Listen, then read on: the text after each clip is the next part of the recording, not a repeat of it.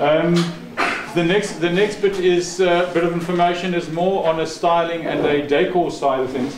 Um, a single duvet, a myth, a single duvet should be used on a single size bed. That sounds very logical, but it actually isn't. Um, the duvet overhang and bed configuration should be considered when sizing the duvet on a bed. I've got this table which gives down the left hand side the size of standard South African beds and across the top the size of standard South African duvets.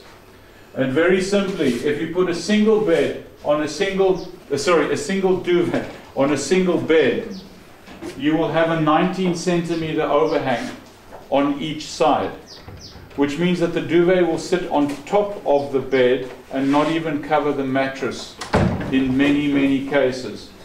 So it's quite an important point, point, of, point of view to consider, especially if you're styling or if, you, if you're decorating in a, in a guest house or in a hotel, that if you want a luxurious look to the bedroom, make sure that there's enough overhang on the duvet to cover the mattress. I walk into many hotel rooms where, that have a single on a single or a king on a king bed, um, and, and literally the duvet sits just on top and, and, and doesn't cover the mattress at all.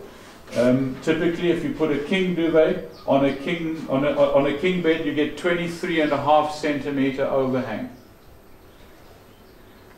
These days, the average mattress is about is, is between 25 and 30 centimeters deep. In fact, last week we made we made bedding for a mattress that is 45 centimeters deep. Um, so it's an important factor to understand.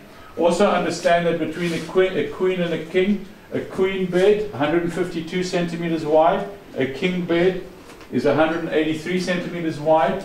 The difference between a king and a queen duvet, however, is only in the length, not in the width. A king duvet is the same width as a queen duvet. So typically in South Africa we use a super king duvet on a king bed.